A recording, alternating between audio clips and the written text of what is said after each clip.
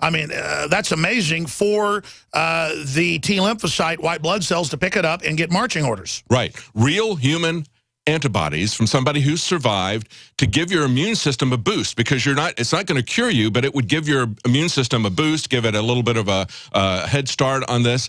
So that's the idea behind it. They've used it to treat diphtheria they've used it to treat measles they've used it to treat tetanus a whole wide range of things. Even in the SARS outbreak you had a Hong Kong scientist but this is something they can't centralize like vitamins and minerals so they're not going to let it be developed. Exactly. So what they're doing with ZMapp is they're essentially mimicking that, but using a patented, artificial, genetically modified, and a transgenic genetically modified process to do this. In other words, instead of injecting human antibodies, they give Ebola to a mouse, and when the mouse produces antibodies, they genetically modify those antibodies, and then they grow those antibodies in genetically modified tobacco plants, okay? Or they are, they're now talking about growing it in animals, so they can mass produce it using the... Here's the problem, though, and even Forbes gets into it.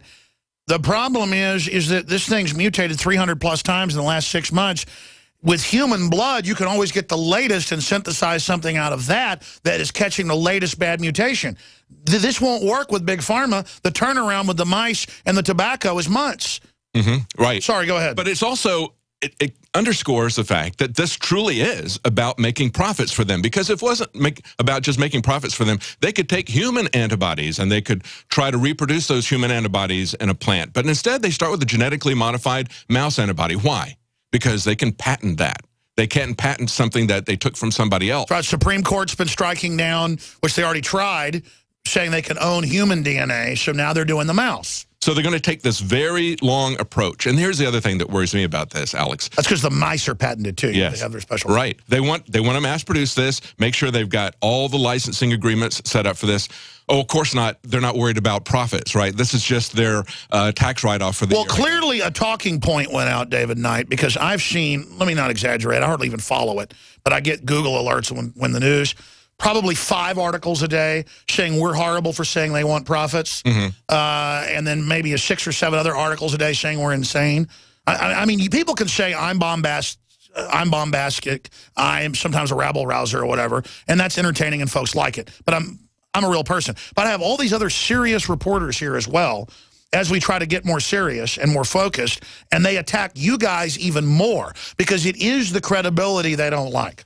If it wasn't about the money, why are they waiting for months to get this ramped up into production before they start introducing it to people when they could cheaply do it right now with a donor registry?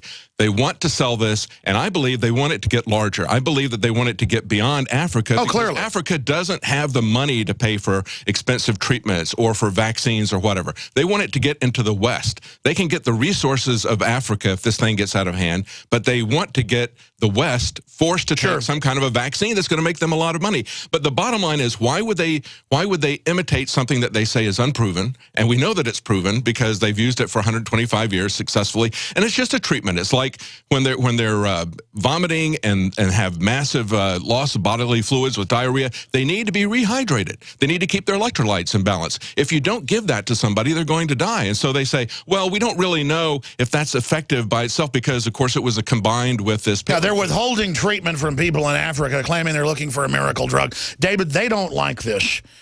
I want you to really do a big report on this video and text for Wednesday. Mm -hmm. And I want you to come in and co-host on Wednesday and really spend an hour on this. Okay. Maybe get some medical doctors on as well because they're scared of us covering this. So we better stay on it. If they're trying to shut us up, we're not going to be intimidated by them. We're going to continue to focus in uh, on things that are curing some people, like blood transfusions, uh, that they don't want the public to know about. Thank you so much, David Knight. Thank you.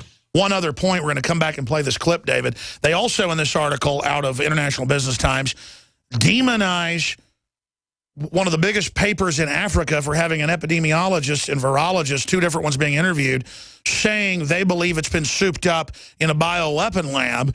And then that article that they even link to links back to the huge trials that they had in Europe, at the EU, and in South Africa, where they admitted a secret bioweapon program between Israel, the U.S., uh, and South Africa, where they used South Africa to produce uh, basically a vaccine that sterilizes African women by having them create an autoimmune response to sperm.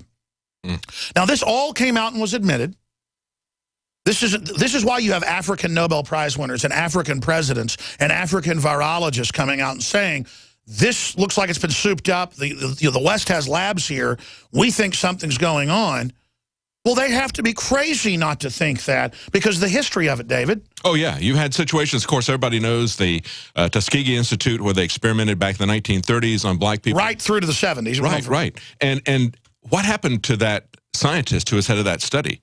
Well, they had a medical historian realize that after that Tuskegee study, they had a doctor who went down to Guatemala and with the approval of the American government. Did it there? And with the Guatemalan government, they did experiments on people down there without their full consent. The first story that I did actually started even before I got here was about the EPA doing medical experiments on people in North Carolina. With lethal gases. Exactly. What they had said were lethal levels. All right, we're going to come back. Thank you, David Knight. Great job. Wednesday, I want to hit them hard. Okay. So you got two days to work on this. Great job. Thank you so much. Uh, yeah, we're drawing flack. We're over the target. When we come back, secret project created weaponized Ebola in South Africa. It's all confirmed. Oh, conspiracy theory.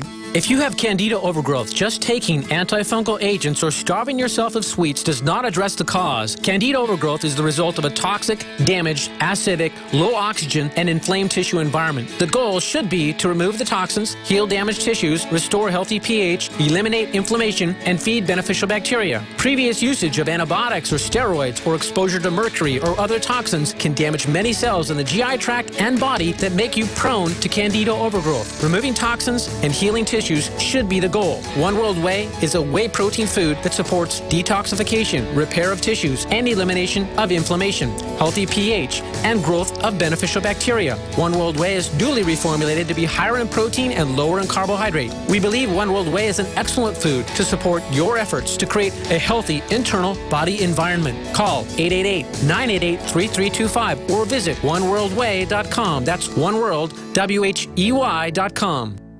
Hi, folks. Alex Jones here with some important information. I want to tell you about Matt Redhawk and his team of patriots over at My Patriot Supply. Several years ago, Matt was sitting in his two-bedroom apartment, frustrated with the direction this country was headed and the charlatans willing to sell us out for a quick buck. Deciding to take action, a company run by patriots for patriots was born. My Patriot Supply has never taken a loan or accepted outside funding. They now operate two distribution facilities and employ over 50 hardworking American men and women. It is rare to find companies who practice what they preach. And that's why I stock my pantry with high-quality storable foods from My Patriot Supply. Go to mypatriotsupply.com forward slash Alex today for special offers on emergency food storage or call their preparedness specialist at 866-229-0927. That's 866-229-0927. Do business with someone who shares your values. mypatriotsupply.com slash Alex.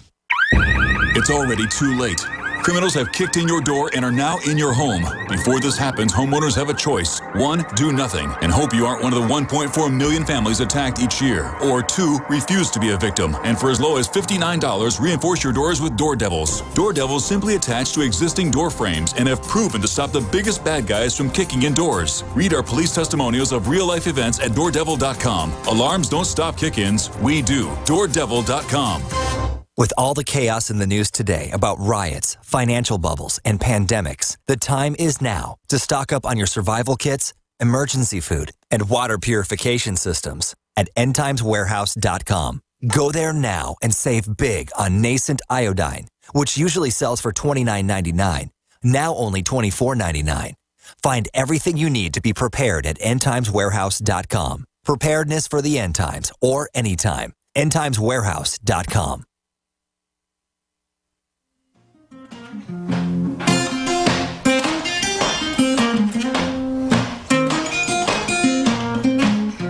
Don't want no shackles on me. Don't want no shackles. Don't want no shackles on me. Coming up, I'll give out the toll-free number and give you the latest on our push to get people to go on strike. The mainstream media won't report on it, but we're getting a lot of emails and intel. Folks are staying home to lobby Congress and the media to stop West African flights, to point out that borders do matter and do do something. The White House deleted our petition to stop Ebola. That's up on Infowars.com. Claimed it violated terms of service, though it didn't. I mean, we know they don't follow the, the petitions, but they're bully pulpits, so that's why we use them. Kit Daniels wrote about that last night. I had him reposted to the top of Infowars.com. But uh, the article uh, in question is by Dan Taylor on Infowars.com. Excellent article. Secret project created weaponized Ebola in South Africa in the 1980s. And this clip is from BBC News. Just like we have PBS with the weaponized Ebola here going airborne from 1990. And of course, all the top virologists are saying it appears that this strain is beginning to go airborne. And there is a top scientist, very famous, operating out of South Africa during the apartheid era, Dr. Wouter Basson, launched a secret bioweapons project called Project Coast. It's very famous for the informed, totally unknown to the unwashed uh, sports fans out there. And they, the U.S., Israel, a bunch of others, Germany, they couldn't produce race-specific weapons in their countries. So they had South Africa do it.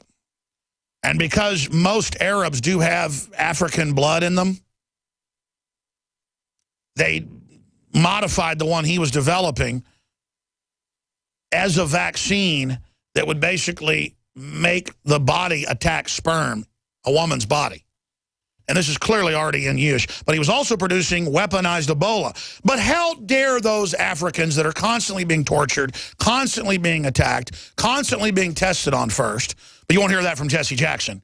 He'll just tell you how there's racist white people all day running around. No, the average white person is not running around racist, okay? They're a bunch of bleeding heart twits that'll turn their guns in if they're told to because uh, they don't want to be called racist. But the people running it at the UN level, you better believe they want to kill black people. And they want to sterilize them. And all this stuff that gets tested on them gets ended up used on everybody. So let's go ahead and go to this clip. Here it is. Larry was a wonderful fellow, mad as a hatter. He used to rock up in South Africa having flown intercontinental flights with a trousers pocket full of goodies in sealed vials that he claimed were new and wonderful organisms and could do the most wonderful things on Earth. Larry Ford had mutated cholera, typhoid, anthrax, botulism, bubonic plague, and had also come up with germs that he called kaffir-killing germs. Kaffir, as you may know in Afrikaans, is the equivalent of the N-word. So these were germs that were specifically engineered to kill only black people. In other words, an ethnic biological weapon. Had Project Coast really gone this far? From the beginning, this idea of can we find a way to control the size of the black population was considered one of the most important areas of research. It got even more important over time as the size of the black population and the seriousness of the uprisings increased. So there, that's one reason why they got into genetic modification, research into is there a way to have contraceptives uh, um, that could um, somehow uh, basically sterilize blacks without them knowing it. All right. And kind of the full clip's eight minutes long. It's up on Infowars.com right now. Oh, but the International Business Times made fun of me. Don't do that. I'm going to fall down and cry. Oh, I'm so scared. I got in this to fight, bastards. You understand that? I got in this to Thank stand up for for innocence. to GCN. Okay, and I don't want to hear there are too many black Visit people. GCN You act like you're a bunch of liberals, but you wink, wink, hey, let's kill the blacks. You people are a bunch of idiots. When you're out on the road, the last place you want to be is on the road. But if the unfortunate happens, you'll be glad you were wearing diamond gussets. There's a place down in Tennessee gusset jeans. They so pride in every stitch. Guarantee you love the way they fit. They put a diamond gusset in the crotch where you need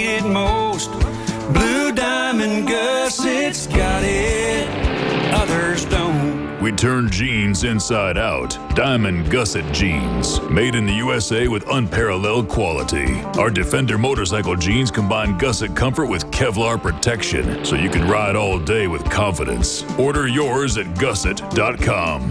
Diamond Gusset Jeans got it. Others don't.